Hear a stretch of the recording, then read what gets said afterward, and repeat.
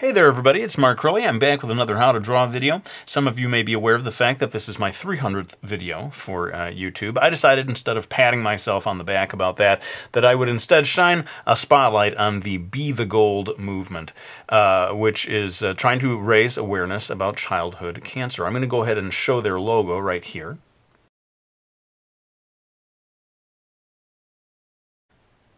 And so you see it's kind of like, uh, hello, my name is, that sort of name tag. Uh, this is the image that they're using for this movement. And, um, uh, you know, much as they took the color pink for breast cancer, uh, we're taking the color gold um, to raise awareness about childhood cancer. And please go to bethegold.com that is the uh, sort of central hub that will uh, show you all the different ways that you can support this movement. And also in the um, info box of this video, I'm going to have six different links for all the various uh, places you can go, like Facebook and uh, Twitter and so forth, to be part of this movement. So thanks in advance to all of you who choose to do so. Uh, let's go ahead and get into this lesson.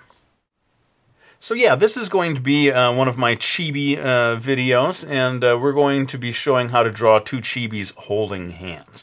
Now what I've got here are three different lines. They are about uh, two inches apart, I guess if you're using the metric system, more like five uh, centimeters, uh, but really any size is fine as long as they are exactly the same distance from one another.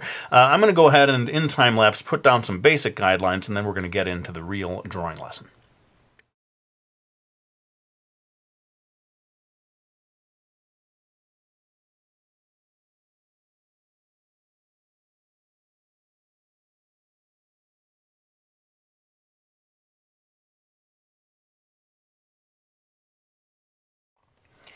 Okay, so we've got most of the basic guidelines in place here, um, but I am going to add a few more. I thought I'd stop halfway through, though, to sort of point out uh, certain things about this. As you can see, the both of these characters' heads extend from that line to that line. This other line really is just sort of a guideline to, to give you a sense of how far the legs uh, go. In fact, right around the knees is where that line uh, is going to come. Pay careful attention, though, to the space between these two uh, and the space here as well, because that's where the hands are going to be coming together. And if you draw these too close together or too far apart, you're going to have trouble replicating that. So um, just a couple of tips there, and uh, let's go ahead and add the uh, last few guidelines before we get into the drawing.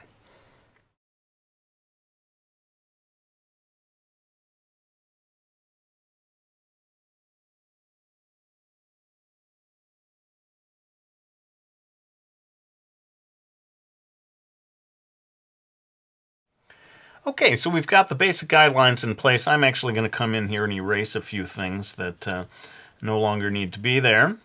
Uh, and um, the next step, and I'm going to try to do this all real time, uh, is uh, the sort of refinement stage of adding um, slightly more detailed lines, I guess you would call them. And why don't we begin by working a little on this female character's face? I'm going to use this first guideline here as a, a placement guideline for her eyes. Now, uh, it seems like this is probably a good time for me to zoom in a little on the face so you can see the details.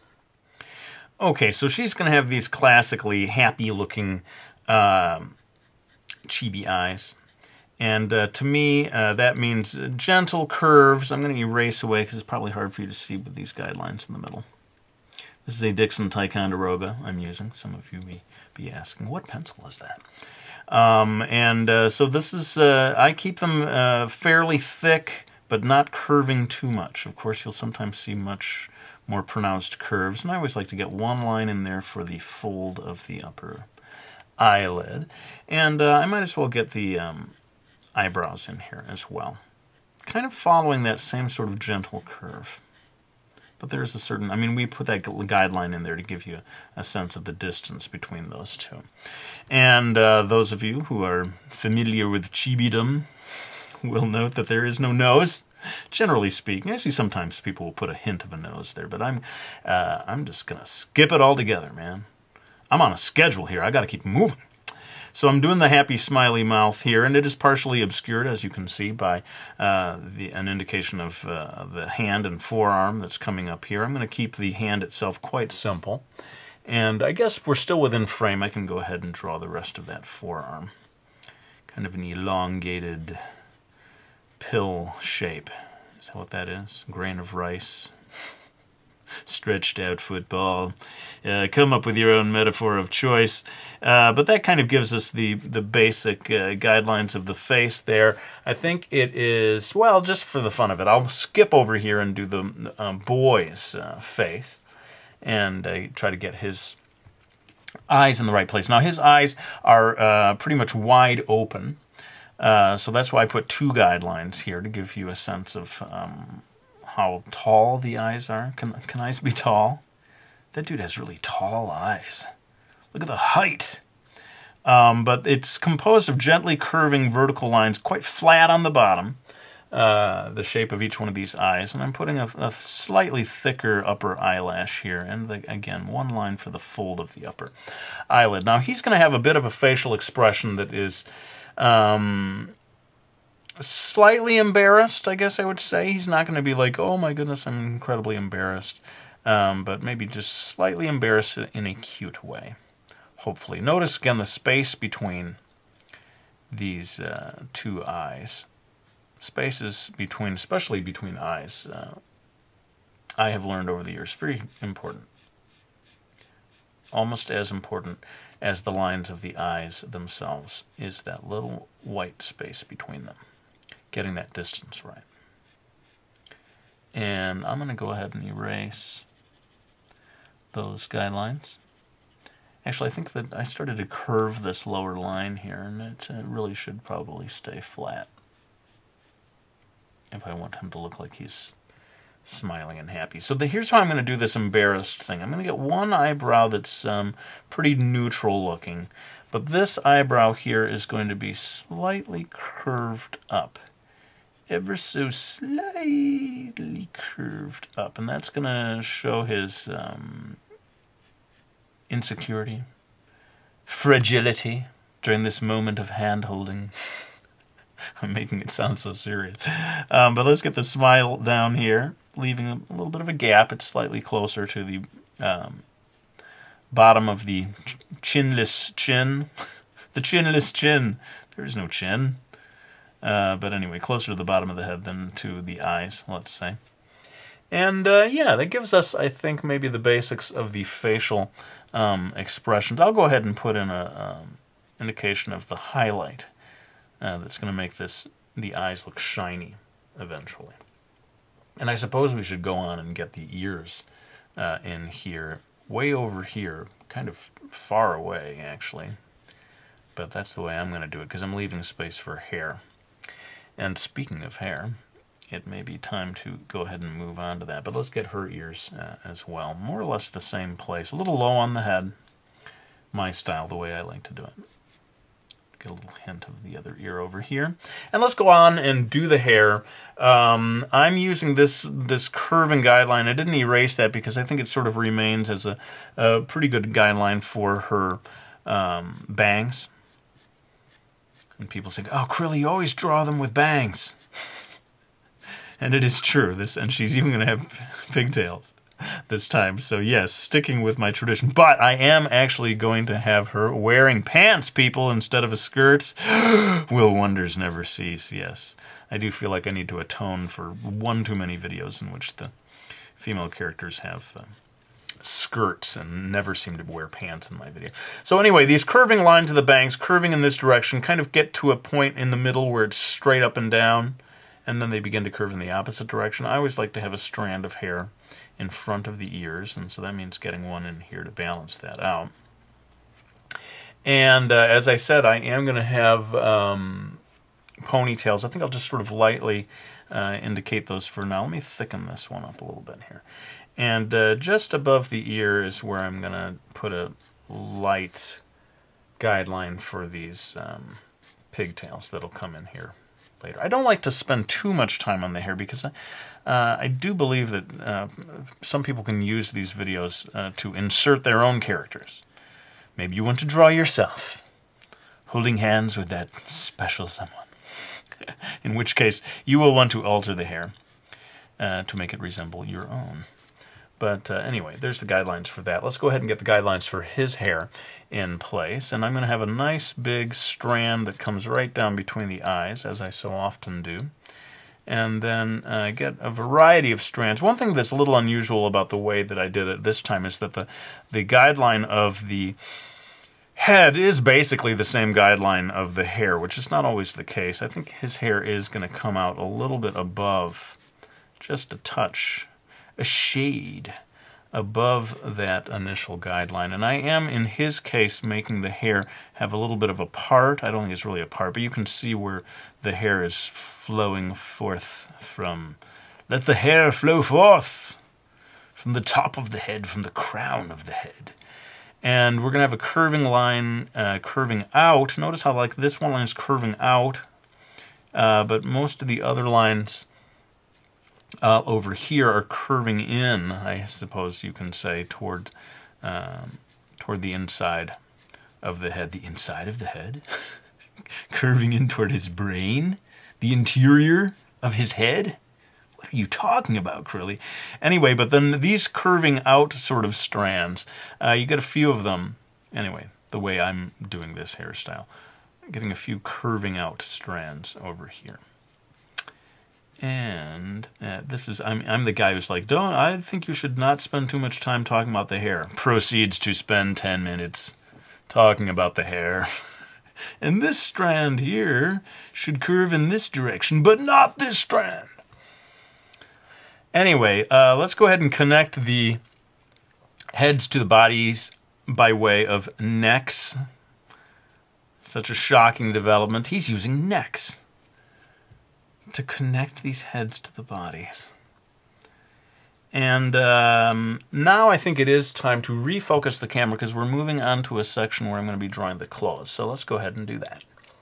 Okay, so I'm going to try to move through this a little more quickly um, because there's a lot left to do in this video. I want to ink these drawings up and I'm actually going to color them in using markers, which is a fairly rare thing. I think I've only done a handful of videos, if that.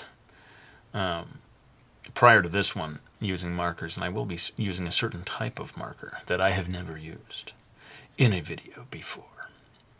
Um, so I decided to to give her a slightly womanly figure, that is to say, sort of narrow at the waist and then coming out at the hips. Um, but generally speaking, chibi characters have a sort of a babyish um, form, uh, and you don't, yeah, you don't tend to see the um, you know, the full figure of a fully grown adult uh, in chibi form. And I'm going to have this, you know, I did a very simplified arm. I'm going to actually delineate that a little more. Bending at the elbow, just a touch. I think his arm will be a little straighter. And um, for the hands, holding hands, I think I should um, zoom in. Let's hold off. I'll do that the last thing so we don't get zoom in whiplash over here. I'm going to go ahead and do his uh, his t-shirt. I'm going to have him just wearing a simple t-shirt. Eventually, this is all going to be colored in with shades of gold in keeping with the Be the Gold theme. I decided to have him have one hand in his uh, pocket over here. And um, I'll go ahead and move back over to her um, her legs here. I'm going to have one foot. This is a little unusual, I suppose. I'm going to have one foot pointing in. I'm going to make her sort of deliberately uh, a little bit pigeon-toed in a kind of a cute way, hopefully. Um, but we definitely want these legs to have a little more form to them, and that's why I'm going to, you know, sort of bend them at the knee a little bit there. Uh, and like I said, pigeon-toed, that means having this foot curving in a little bit towards that one. Still fitting, gotta make sure this all fits within the video frame. Narrow, somewhat narrow at the ankles, widening at the thighs. I'm sort of doing a compromise, you know, between baby form and grown-up form. But I decided to give her uh, these pants that are quite cut quite high at the uh, ankles. Sort of summer pants. I'm sure there's a word for these that I don't know, as is so often the case. uh, for this style of pants. Anyway, that's uh, that's my idea for her clothing. And let's come on over here. Um, I thought you would enjoy the sort of pose that he's in. He's sort of standing a little more um, in profile. And so that allows us to do, um, I think, a, a fairly appealing pose. I like this pose where one foot is pointed a little bit toward us, the other foot is pointing quite um, in profile and then you get the because the one leg is higher than the other on the page, you get a feeling of a, a, a good feeling of his stance. You know, like he's really standing there. I'm gonna give a few wrinkles here at the bottom of his uh, jeans. And we are almost ready to move on to the inking stage. Now, I think that this is a good candidate for the removing the page from the table technique, uh, so that you can see me actually inking. Oh, I forgot about the ribbons. Let's go ahead and do the ribbons. Sorry about that. Um, I decided to give her some ribbons in her hair. Uh, but I am going to sort of detach this from the table so that I can spin it around and so forth, all in time lapse as uh, I do the inking.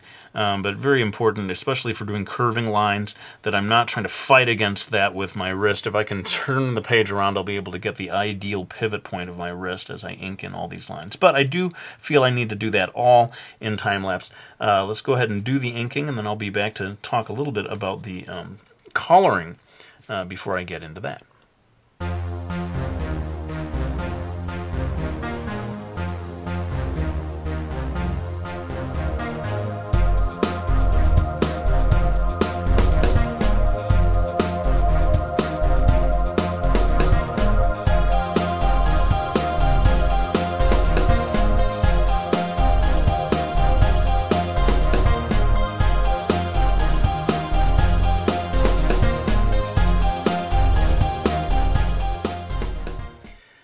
Okay, well, this will show you what a goofball I am. I got started inking this thing and I realized I didn't draw the hands. And that's like the whole focus of this video. So uh, rather than incur the wrath of my viewers, I thought I would uh, come back in here and in pencil uh, show uh, how to draw the hands themselves. Uh, so let's go ahead and zoom in on that and uh, do all of that in real time. Okay, so when uh, you're drawing chibi characters holding hands, uh, you are greatly simplifying the anatomy of the human hand, but you do sort of have to decide which uh, person's uh, hand is, um, you know, palm up and which one is palm down. And I've decided that I'm going to have the boy uh, with his palm up, uh, sort of holding the girl's hand so that her hand is sort of resting in his, kind of like he's cradling uh, her hand. So that involves, uh, first of all, sort of uh, melding together all of his uh, fingers into one mass right here, which is kind of gross when I talk about it that way. Um, but that is sort of the chibi style. You're not drawing all these individual fingers at this stage.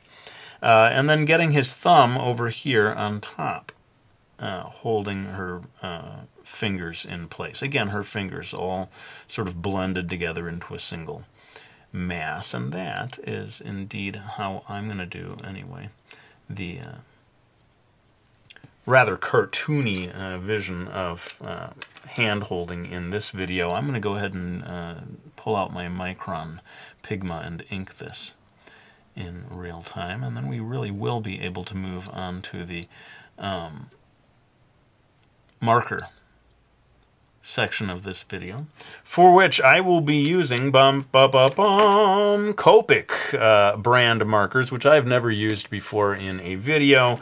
Uh, went out to the store and bought these gold-colored ones, especially for this video. And I got to tell you something, people. these, these are not cheap. Each one of these things is $6.50, $6.50 uh, I'm impressed that there are young people out there who can afford to buy whole sets of these things. Um, this is pretty ritzy stuff, and you can imagine if you wanted a full range of colors. I, you know, if I want to color something in, I feel like I need 30, 40, 50 colors. Whew, that's going to set you back some serious cheese. People. Me, I prefer watercolors, frankly.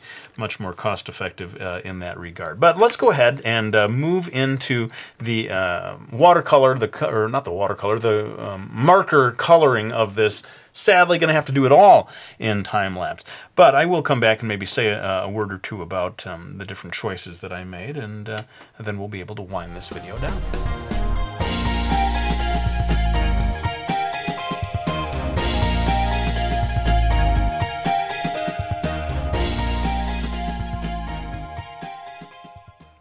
Okay, well, I decided to come in with a little gouache, a little white gouache across the hair to uh, add some final highlights. Uh, but we're not done with this drawing until I add the blushies. This time we are in the land of chibi gold, so they're actually going to have yellow blushies, definitely a first.